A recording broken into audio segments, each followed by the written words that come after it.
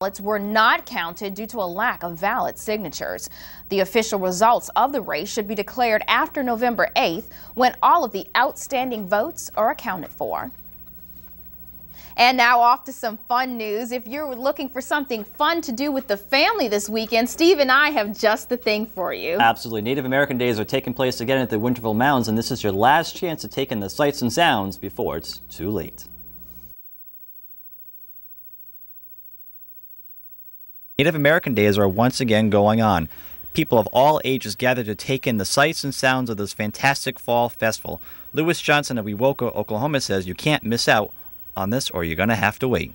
They do this Native American Days here at Winterville, so, well, actually only one time a year do that, but you probably can see different Native people doing their crafts at uh, powwows that come through the area from time to time. There are so many events going on, such as storytelling, checking out their teepee, archery, face painting, or purchase a handcrafted artifact from one of their vendors.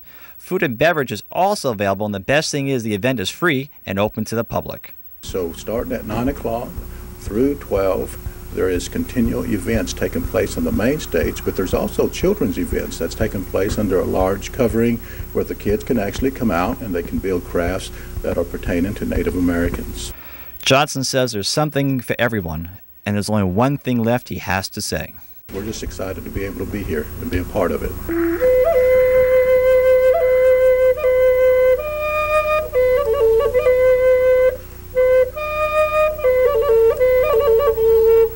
In Winterville, Steve Dryer, WXVT Delta News. Now, Native American Days continue today from 9 to 1 and tomorrow from 9 to 4. And also, the Native Amer American band Ingenuity is performing tomorrow at 1 o'clock. So definitely make sure you do check it out. Tammy? Thanks, Steve.